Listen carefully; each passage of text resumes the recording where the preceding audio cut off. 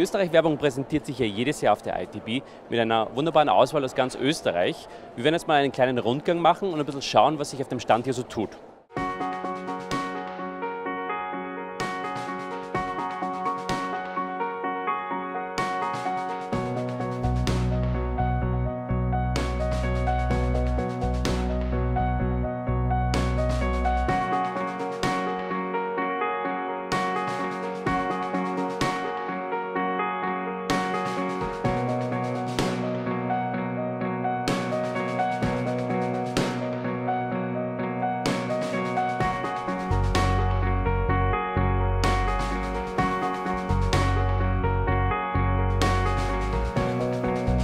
Wirklich, es macht Lust auf Österreich, diese Einheit von Landschaft, von Nahrung.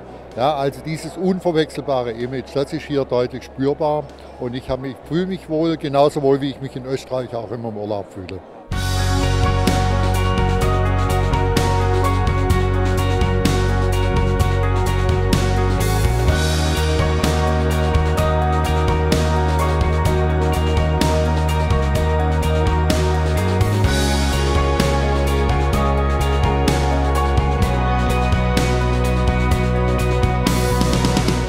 Rundgang hat mir wie jedes Jahr gut gefallen, weil sich die Österreich-Werbung äh, sympathisch präsentiert, offen präsentiert und äh, daher auch entsprechende Resonanz bei allen Besuchern findet.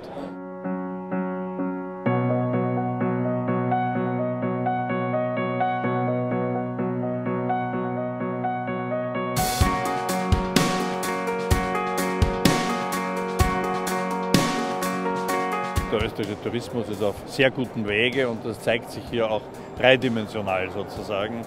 Wichtig, dass der Minister da ist und auch hier gemeinsam mit den österreichischen Ausstellern, dem großen internationalen und deutschen Publikum zeigt, was wir zu bieten haben.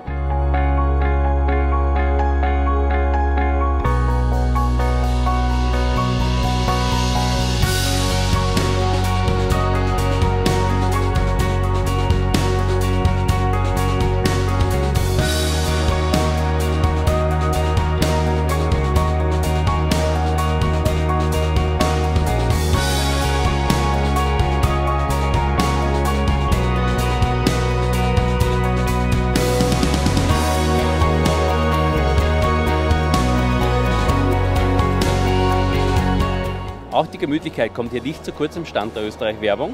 Und von der Gemütlichkeit geht es jetzt zur Kulinarik. Wir sprechen mit Franz Raneburger, der hier als Starkoch die Gäste am Stand der Österreich-Werbung bekocht.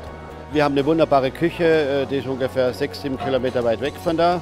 Da wird die Wache vorbereitet und kommt jeden Tag frisch an. Also das, das heißt, das Lamm ist angebraten, der Fisch ist kurz angebraten, nicht alles, also das, was so geht. Zuerst 80 bis 100 Portionen und hier wird es regeneriert, das heißt nochmal äh, weiter äh, mit in Butter oder sowas in den Konvektomaten.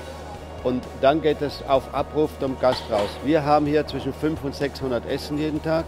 Das Team, was ich habe, das ist schon lang bewährt. Wir sind jetzt, glaube ich, das siebte oder achte Mal hier.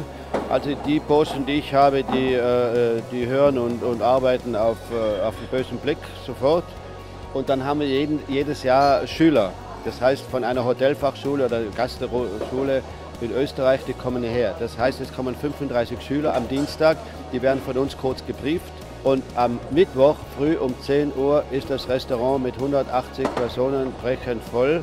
Und dann muss so funktionieren, als wenn man schon jahrelang trainiert hat. Und das ist natürlich jedes Jahr eine Herausforderung. Ja. Hier, hier ist wichtig, dass, das, dass die Produkte frisch und gut sind, ja, dass das Essen schmeckt und dass es so schnell wie möglich, weil die Leute sind ja nicht zum Essen alleine da, sondern die sind ja da zu verhandeln oder irgendwelche äh, Gäste zu gewinnen für, für das Land, für die Regionen.